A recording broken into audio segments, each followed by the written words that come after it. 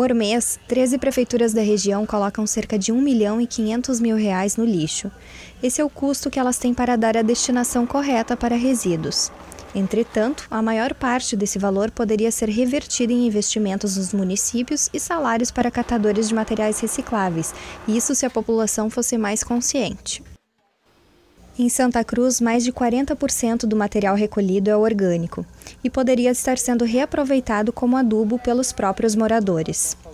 Um exemplo de boa ação com o meio ambiente e o dinheiro público ocorre em um condomínio residencial de Santa Cruz, que desde 2011 mantém uma composteira coletiva.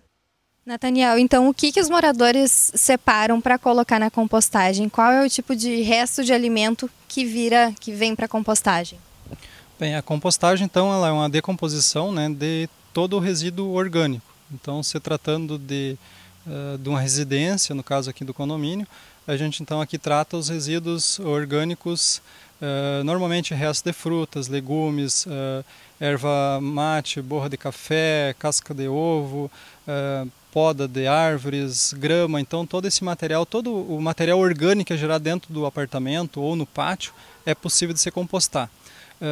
Como é uma compostagem residencial, para evitar cheiros e, e, e pragas, insetos, recomenda-se não colocar então resto de comida temperada, como, tanto com sal como açúcar, né? E gorduras e carnes. Então é o que atrai as pragas e acaba dando um odor maior na composteira. Então respeitando esse, esse material, não colocando esse material na composteira, então os demais que se for gerado dentro de uma cozinha, tudo é possível ser compostado.